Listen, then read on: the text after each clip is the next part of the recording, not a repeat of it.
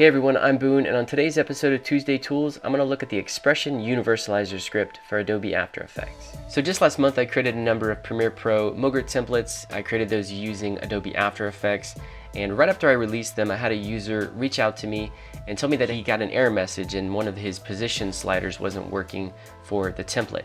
Come to find out, he was using a Spanish version of Adobe Premiere Pro. Now, why would this matter and why should this cause errors?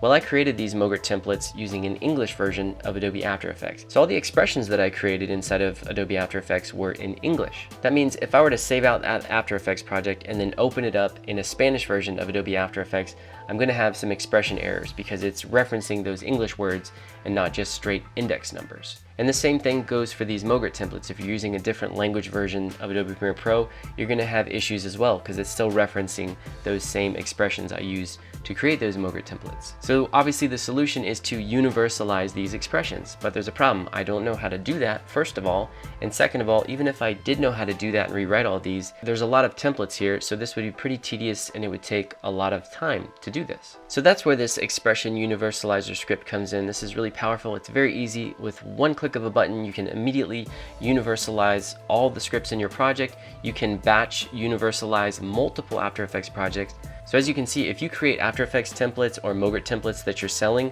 this is gonna open up your product to international markets, not just those creators using English software applications. Let's have a closer look. So here's my Adobe After Effects project where I created the MOGRT templates. I have my Essential Graphics panel open here. I have the six different templates, and here's one of the main, uh, the first example here. So I have the script installed. So to open it, I'm gonna go to Window, and select Expression Universalizer.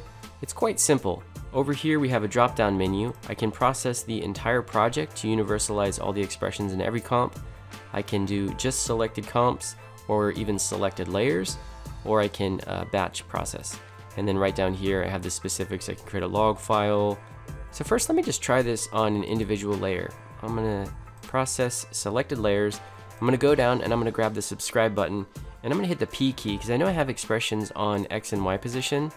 And right now, if you take a look at them, you can see its effect, right left position slider. This I think was one of the issues that my Spanish uh, version user was, was having a problem with. I'm gonna open up the effect controls panel. You can see there are expression controllers here. Now, let's see what happens when I universalize these. Okay, so it says it's done, universalize two effect references, and you can see how fast that was. And it tells you right here, if there are expressions that didn't, do not require universalization, they can be skipped. And it'll tell you if there were, but here there weren't. Both of these needed to be universalized. And you can see it changed the property name here. Now these should be ready to rock and roll. So now what I'm gonna do, process selected comps, and let's go ahead, create log file. I can say that in the project root, that's fine. I'm gonna add the universalize tag to the process comps, and now let's universalize.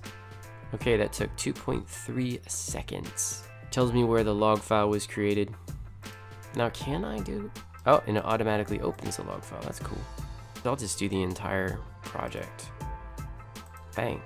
See how long this takes for the entire project. Okay, 22 seconds. Wow, that's fast. See, imagine if I had gone through here by hand to universalize these. It would take much longer than 22 seconds, I guarantee you. Now I'm going to full screen this project panel, and right over here on the comment column, it's giving me these tags saying that three expressions were universalized, zero errors, and it gives me the date and the time.